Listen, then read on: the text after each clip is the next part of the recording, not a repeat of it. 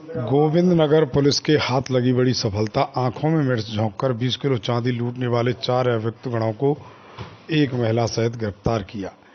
मथुरा में आँखों में मिर्ची डालकर दिन दहाड़े चांदी के व्यापारी के साथ लूट करने वाले लुटेरे के चार युवक और एक महिला साथी को मथुरा पुलिस ने आज गिरफ़्तार कर लिया, जिनके कब्जे से लूटी गई चांदी, उनके जेवरात सहित दो लाख आठ हज़ार रुपये तथा चोरी की मोटरसाइकिल व एक तमंचा कारतूस बरामद किए जिसके बाद पुलिस द्वारा उन्हें कानूनी कार्रवाई करते हुए न्यायालय में पेश किया जा गया।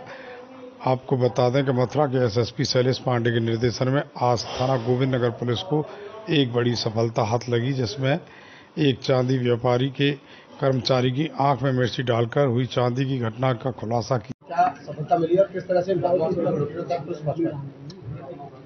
11 जून को एक सनसनीखेज घटना मथुरा शहर के थाना गोविंद नगर क्षेत्र में द्वारकेश कॉलोनी में हुई थी, जहाँ दो मोटरसाइकिल सवार बदमाशों ने एक चांदी व्यापारी के जो एम्प्लॉय थे, उनकी गाड़ी को सामने से रोक के, उनकी स्कूटी को सामने से रोक के चांदी से भरा थैला लूट लिया था। तत्काल सभी अधिकारियों द्वारा घटनास्थल का निरीक्षण किया गया।